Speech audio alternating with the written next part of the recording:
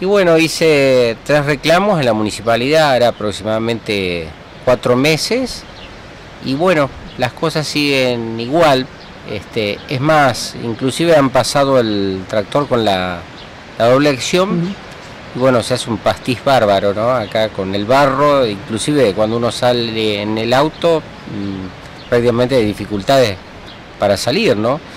Y yo, bueno, puse unos tubos para ampliar un poco la anchura de la, de la vereda para, para, bueno, para podernos bajar, porque si no el auto quedaba medio en pendiente y no nos podíamos bajar, pisábamos en el agua. Nos decía que ahora bajaba un poquito el nivel de la laguna, pero cuando llueve un poco más, bueno, es sí, bastante se, se acrecenta un montón y además este eh, digamos que eh, muchos autos tienen que subirse por la vereda cada vez que pasan. Eh, yo sé que no es solamente acá el problema, sino que es en varias cuadras aledañas y bueno, y en varios lugares del pueblo. Pero bueno, especialmente acá, este, eh, acá nos dificulta mucho ¿no? la salida del vehículo. Bueno, la idea es que tengan alguna respuesta. Los vecinos, recién pasó otro vecino, nos decía lo mismo, que tenían por ahí algunos problemas acá cerquita también, ¿no? Sí, esa es la idea por, por intermedio de, este medio, a ver si podemos hacer una respuesta de la municipalidad.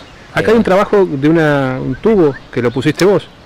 Sí, puse unos tubos. Eh, la idea fue un poco ampliar, eh, ensanchar la vereda para que podamos bajarnos a, nuestra casa y poder entrar sin mayores dificultades.